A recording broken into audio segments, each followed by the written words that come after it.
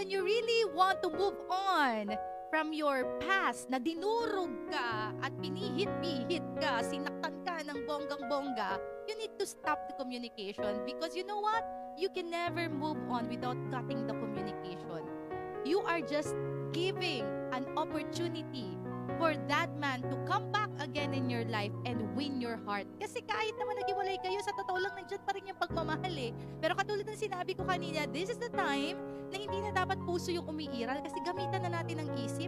So kapag sinasabi ng puso natin na mahal pa talaga natin ng isang tao pero hindi na tama yung sitwasyon, paulit-ulit ka nang niloloko at alam mong lolokohin ka pa rin ulit, abay mag-isip ka na ng isang daang beses.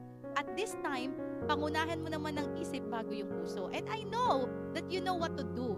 I'm just advising you that if you really want to move on from that life and to really disconnect from that person, then stop communicating.